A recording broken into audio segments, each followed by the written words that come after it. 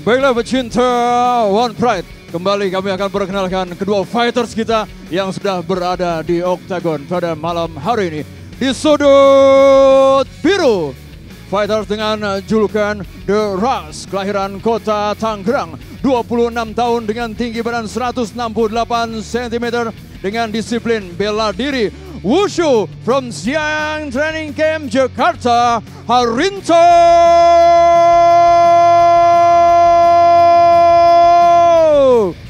Jaya!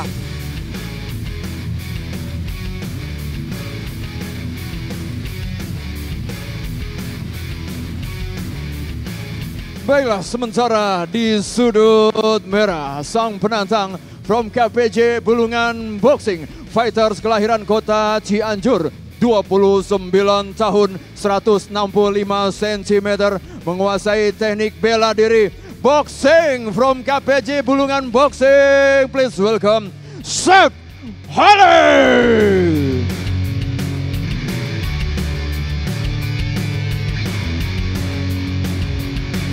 Juri satu pada malam hari ini Mustadi, juri dua Gunawan, juri tiga Anthony, dan wasit pada malam hari ini David Strom. Sementara Dewan Juri Bung Max masih didampingi oleh Bung Linson Simanjuntak. Fighters selamat bertarung. Fighter, fighter. Kalian sudah tahu peraturannya, ikuti perintah saya, lindungi, lindungi diri kalian, dan bermain sportif. Touch glove, kembali ke sudut. Juri satu, juri dua, juri tiga, dewan juri, timekeeper, fighter ready, fighter ready, fight! Baik pecinta Sports One, uh, pertarungan keempat pada malam ini partai pilihan kelas flyweight 56,7 kg antara Harinto Jaya dari sudut biru dan Cep Holik dari sudut merah. Ini unik. Oh, langsung saja. takedown dari Harinto ya. Ya. Double leg takedown dan mendarat dengan bersih. Side mount. Tentunya seperti tadi terjebak dengan kepala eh, terkena ya, Terkena teknik uh, guillotine choke. guillotine choke. Ya. Or, uh, dari yang di bawah mencoba guillotine choke. Ah, Oke. dan masuk ke posisi full guard. Oh, tidak. Belum. Belum. Ya, masih Nah, masih satu ini kaki. ini. posisi ini yang tadi Bung Max bilang bisa dilakukan front flu choke. Front ya. flu choke ya. Jadi tangan eh, apa sikut dari kiri bukan menekan ke le- leher, ya. justru malah memeluk, Memeluk. lehernya ya. Ah, tapi dia berhasil keluar Berhasil dan keluar. uh, dan Harinto masuk ke Oh, posisi oh. malah dikembali dikembali dibalikan oleh Cep Holik. Ini ini ini uh, Cep Holik mengambil apa tindakan yang sangat tepat ya. Dia segera bangkit bangun karena dia sadar bahwa posisi tadi berbahaya jika dia terus berada di bawah. Karena seperti kita tahu bahwa Harinto Jaya ini sudah berlatih di Siam Training Camp yang notabene tidak hanya berlatih Muay Thai, tapi sudah uh, dikemas dengan paket lengkap nih Bung Dia, Bram. jadi dia sudah bekerja sama dengan camp lain juga gitu. Betul. Namanya mungkin Siam Muay Thai, tapi tapi uh, tap- dia memang Oh. banyaknya di Muay Thai. lutut kanan mengenai Cep Holik dan kita tahu bahwa di, di Oh, di- low kick kembali. low kick masuk Low kick lagi dari secara bersih Jaya. dan itu pastinya juri melihat dan memasukkan poin ya, Ya. yang sangat bersih clean shoot. Nah, eh, selain eh, arena apa Muay Thai juga di sana saya lihat ada sasana ada disiapkan cage ya untuk berlatih MMA dan grapplingnya. Jadi memang memang Heeh. Siam ini sudah berke- ber- de- bukan sudah bergerak, sudah pindah dari apa tuh namanya hanya Muay Muay Thai, tapi sudah menjadi ke MMA, MMA. sasana Jadi, MMA sasana ya. MMA. Sedangkan Chef Holik, ini uniknya Chef Holik ya. Dia seorang petinju, tapi eh, kita lihat di eh, bantingannya takedown itu menilai A. Jarang sekali petinju yang memiliki skill bantingan bernilai Wah, A. Jadi dia latihan di mana nih, Bung? Nah, ya ini dia. Tidak diketahui juga, ya. tapi ternyata dia memang apakah itu dari silatnya, apakah dia juga tadi dia juga bilang kan belajar Iya. Brazilian Jiu Jitsu juga. Oh, Iya. kembali dicoba Kembali lagi mencoba lagi ya. Hanya saja kedua kakinya belum melingkar ke pinggang dari Harinto sehingga Si- dari belum mendapatkan eh, leverage ya yang sangat baik. Nah ini kebiasaan jika ter- terkena giletin setengah ini, saya bilang giletin setengah eh, yang di atas ini masih kehilangan akal. Dia masih berusaha Oh, mencoba untuk dan mount. malah kembali oh malah dapat mount tapi tercekik. tercekik. ya seharusnya dia pindah ke posisi sebelah kiri dari uh.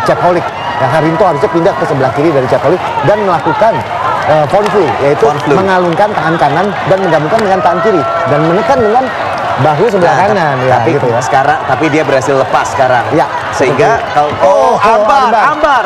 Apakah masuk dalam sepertinya Bung Max? Masuk, tapi kaki kanannya masih belum rapat dan terlihat lentur juga nih uh, Iya. Holik cukup lentur dan ragu keraguan ini. Nah ini saya sering lihat orang sering menyilangkan kakinya ya. Menyilangkan, ya. eh, kakinya, tapi bukan bukannya dia merapatkan, bukan eh, merapatkan. pahanya. Makanya itu jadi longgar Bung Bram. Iya. Harusnya dia merapatkan eh, Oh malah malah posisi Oh, mount dan satu dua tiga empat Iya. dan terus ber, kewalahan, ya. Kewalahan. kewalahan, pukulannya dan mendarat terus. dicoba lagi Coba lagi ambar. masih eh, ada keraguan karena tadi gagal Ya. dari eh, Harinto. Nah tapi ini juga ya submission. Habis Oke, itu ground and pound lagi. Lututnya menahan tangan kanan dari Japaholic. Ini teknik yang sangat baik Bung Bram. Luar biasa ya. Crucifix ya. ya seperti crucifix tapi baru satu ya. oh tidak. Oh, satu tendangan Harinto. Dua, itu tiga, empat. Terlihat terlihat kewalahan ya. Dia sudah oh, masuk satu straight sudah kanan. Tidak dibalas malah masuk ke takedown. Oh tidak berhasil. Ya, Oke. Oh, Oh, masuk, masuk. lagi dari Cepholik ya. Cepholik malah kembali Tendangan lagi. dari Mendarat. Harinto Nah, hampir mengenai. Oh, masuk Kembali, lagi. Straight Cepholik kanan.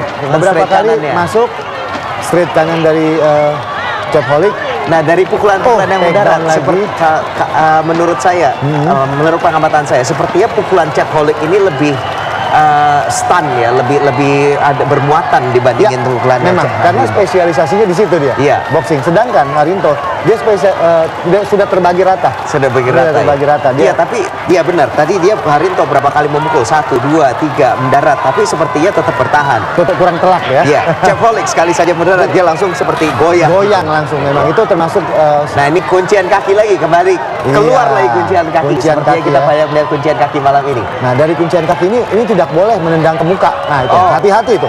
Itu bisa dah ditegur oleh wasit. Lihat. Jika dilakukan dan berakibat fatal, itu bisa terkena kartu kuning atau diskualifikasi. Bisa kartu kuning Jadi, atau eh, diskualifikasi. buat seluruh Oke. fighter Indonesia, pada saat lagi ground fighting, itu kakinya hati-hati, jangan menendang ke muka. Dan posisi ronde dan ronde pertama sudah berakhir. Nah, ini sepertinya banyak jual beli. Banyak eh, masing-masing juga mendaratkan pukulan yang lebih kuat, eh, pukulan yang telak dan Iya. kedua-duanya juga pada pada posisi ground fight yang pada yang lebih dominan. Oh, oh, Oh, itu dia. Langsung yang goyang tadi ya. baru kita bahas ya, pukulannya lebih telak, bermuatan gitu. Kena itu di kuping dari kuping kiri tadi Iya, lihat ya. tapi dia uh, Ah, tapi down-nya. langsung kembali dia mendak and then langsung maju ke posisi ke take down. Iya, karena ini pertarungan bebas ya Bung Bram. ya. Iya. Dia kalah di pukulan, dia main di bantingan banding bandingan. ataupun tendangannya. Justru itu yang menarik dari MMA. Itu yang menarik. Yang Tidak- terlihat menang tiba-tiba bisa kalah. Betul. Bisa Yang langsung kalah, dikembalikan. Tiba-tiba bisa menang di sini. Betul.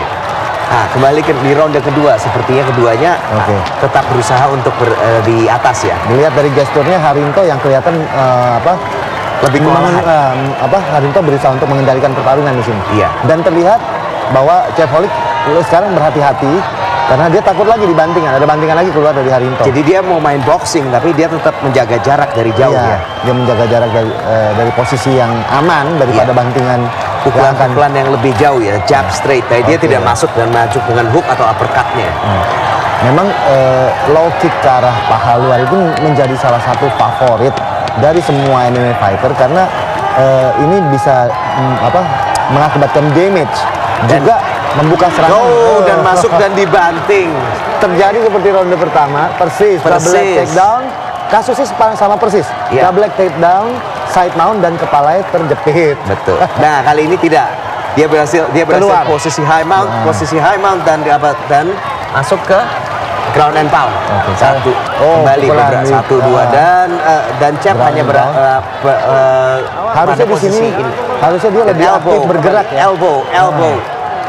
Jika tidak bergerak, Cepholik bisa saja diberhentikan oleh wasit jika ada pukulan-pukulan yang telak. Apa mungkin dia juga sudah terlalu Oh, pusing gitu ya. dari bawah? Oh iya, dan wasit memberhentikan Ah. wasit da, eh, Sudah- David sudah lemas memberikan ya? menghentikan pertandingan, menghentikan pertandingan dengan ground and pound ya. Ya, kita lihat memang pertahanannya sudah tidak efektif, Ya.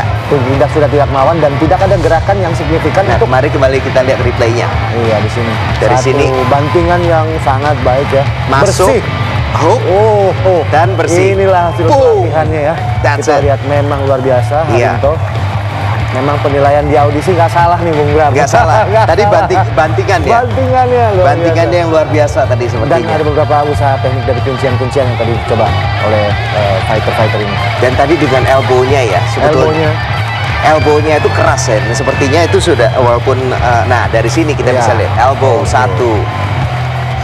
Tapi memang ini salah satunya juga faktor kelelahan karena memang pada saat melakukan ground fight itu menguras tenaga berkali-kali lipat. Iya. Belum lagi ditambah dengan penonton, crowdnya, lampu, kamera dan lain-lain. David Ini membuat memberhentikan pertandingan di ronde kedua menit ke 1 detik ke 30 dengan kemenangan TKO tentu saja dari sudut biru atas nama Harinto